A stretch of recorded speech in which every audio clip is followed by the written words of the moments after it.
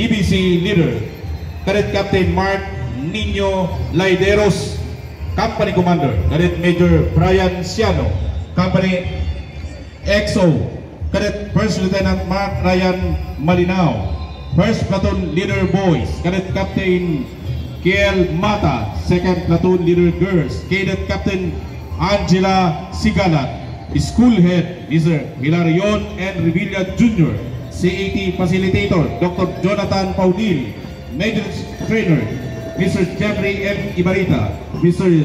Jerry E. Kuit, Mr. Ryan Giovanni Sanao, DBC DLC Trainer Mr. Geoffrey Sicopito, Mr. Mark Angelo M. Matubis, Entry number 17, San Agustin Integrated School, San Agustin, Ibon, Albay.